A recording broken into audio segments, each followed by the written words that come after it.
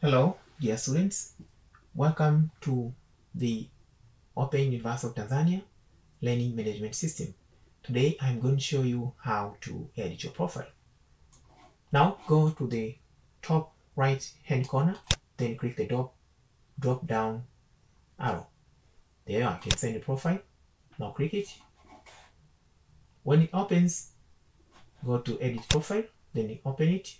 You can now change the first name, your surname, and email address. Remember, these parts which marked with a red star cannot left blank. Now you can change your sit down and everything. You can change the description. You can add your picture here by clicking here, or you can drag. So you click here. Now here is showing is my image. Now upload. There it is. Additional names. If you have another additional names, you can add there. Interest. Okay.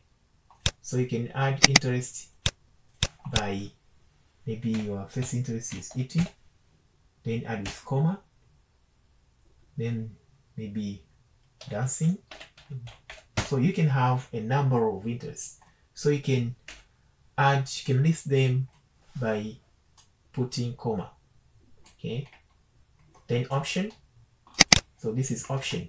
Web page ICQ number MYD Yahoo ID ID number department. So this is option. You can also use it. Then after finishing you can update profile. There you are. Now it works. Now I can see here my image, my interest, okay, city, Dar country, and the other stuffs which you have changed. Now for today, I would like to end there. Thank you for your attention. Bye bye.